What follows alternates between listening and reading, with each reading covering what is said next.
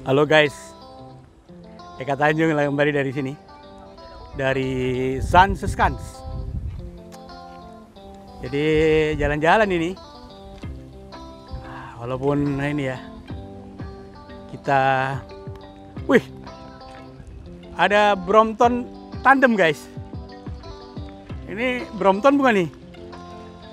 Oh tuh, tandem guys. Oh, sepeda tandem. Kita ke sana. Keren. Ah.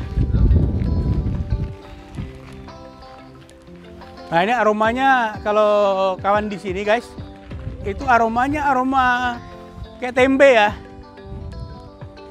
Soya. Sekarang udah bisa mengenali ya? Soya. San Seskans. Kompleks Windmills. Ah, ini.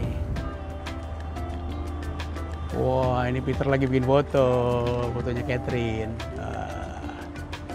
mereka tinggal di Dresden di Jerman, guys. Jadi jalan-jalan ke Belanda lah. Jadi di sini sudah biasa ya. Orang-orang itu ya naik sepeda ya. Di sepeda kita harus orang yang pernah ke San Seskans pasti melihat ada banyak bikes, bikers yang pada ini penduduk lokal, turis juga. Karena musim panas selalu mereka memanfaatkan kesempatan untuk bersepeda. Ah, mereka bersepeda, kita berjalan-jalan. Tuh, berjalan-jalan. Tuh, dia lagi berputar nih windmillsnya itu the, dekat namanya. Istilahnya dekat. Uh, windmillsnya sebelah kanan yang berputar. Kalau di sini yang sini Pulenburg setiap windmills di Belanda ada namanya. Aku melihat itu kambing-kambing di sini agak sedikit sedih juga karena nggak terlalu banyak kawan-kawan dari Indonesia yang datang katanya. Itu jadi mereka tidak mengembik lagi.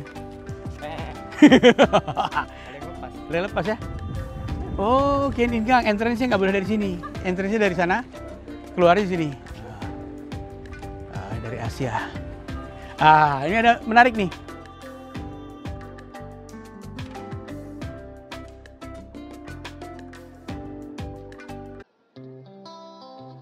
Sekarang pintu masuknya beda guys. Nggak sama dengan biasanya. Kita coba masuk sini aja. Shopnya. Ah. Halo. Waduh. Tuh, welcome. Bicara bahasa Belanda atau bahasa Inggris? Deutsch. Deutsch und Jerman uh, dan Nederlands. Belanda. Oké, welkom.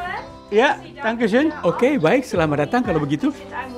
Di sini Anda bisa mencicipi keju dan juga melihat museum dan satu orang diharapkan untuk pegang satu keranjang. Ein person, ein tas. Satu orang satu keranjang? Iya. Ya, satu orang satu keranjang. Have a nice day. Uh, selamat pagi. Selamat pagi. Bagus, bagus. Sudah bisa bahasa Indonesia juga. Selamat pagi dia bilang. Vaak. Saya sering datang ke sini. Apakah Anda baru di sini? Tidak. Oh. Sudah tiga tahun saya kerja. Ja, laatste drie maanden ben ik niet geweest. Saya tiga bulan terakhir tidak ke sini. La- sini. Ja, laatste drie maanden was u dicht. Eh, tiga bulan terakhir bukannya Anda tutup? Enggak kok, kami nggak tutup. eh, Saya kena- kenal dengan Made. Oh Made, Made kerja kemarin di sini. Ah, terus kemudian mereka bicara dengan bahasa Jerman dengan ada tamu yang lain setelah kami. sekarang dapat sambutan dulu karena kita terlalu ramai banyak grupnya jadi Nah, ini kita di museumnya menyaksikan demo. jadi aku kesempatan untuk buat film nih guys. Dan uh, Peter sama Catherine juga enjoy aja. Jadi kalau grupnya gede nah itu agak agak ini juga. Aku tidak akan membuat film ini. Tapi sekarang sih enak aja mereka enjoy. Ah. Ah, kita masuk sini. Ini seakan-akan apa ya?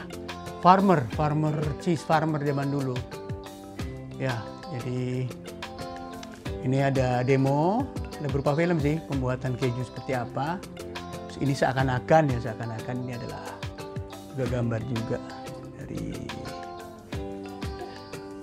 bak penyimpanan milk. Ah, ini kejunya, ya. Dan ini bak ini ya seperti bak eh, eh, kaleng susu ini, Peter ya. Kita akan temukan nanti di setiap tempat. Karena produksi susu itu termasuk terkenal di Belanda tuh.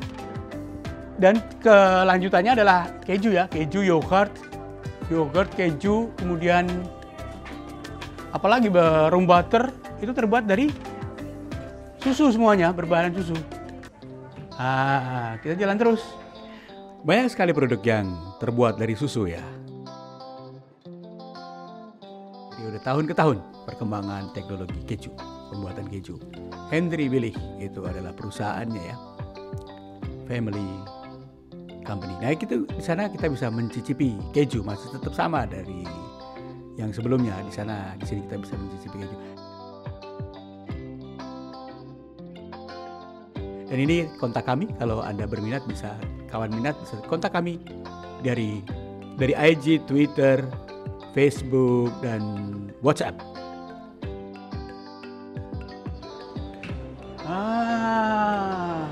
Halo, goedemorgen. Eh, kayak ook selamat pagi, zeg hè? Selamat pagi. Iya, nog meer? Ja, selamat siang, selamat malam, selamat eh, sore. Sore, ya. Wat ik weet weer. Terima kasih. Terima kasih. Uh, was Itu saja yang saya bisa.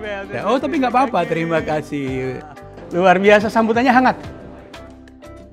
Ini mereka juga bukan saja menjual keju, tapi juga hal-hal lain seperti gel, kemudian eh, minyak, kemudian ada makanan-makanan snack yang lain juga, peralatan untuk mengiris keju. Dan ini kita bisa lihat ya ruangannya luas sekarang, diperluas supaya sentuhan dengan orang tidak terlalu berdempetan. Cheese factory yang untuk yang udah tahu ya, itu apa personilnya di kasa-kasanya ada penutup, ada layar dari kaca plastik.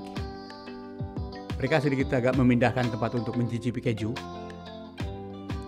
Ah, tapi tetap kita bisa leluasa sebenarnya untuk jalan-jalan di dalam seperti yang dilakukan oleh Catherine dan Peter juga.